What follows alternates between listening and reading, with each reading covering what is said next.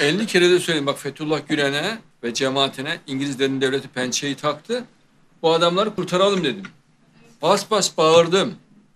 Bak adamlara sonunda bunları da yaptırdılar. Başka şeyler de yaptırıyorlar. Ve bu devam da eder. Allah esirgesin. İngilizlerin devletini ilan edelim ve bu pençeyi bunların sırtından çıkaralım. Suçlu olanlar hapse mi gidiyor artık kanun hukuk ne diyorsa olsun. Suçsuz olanlar da devlet kazansın. Kazanalım bu insanları. İnşallah.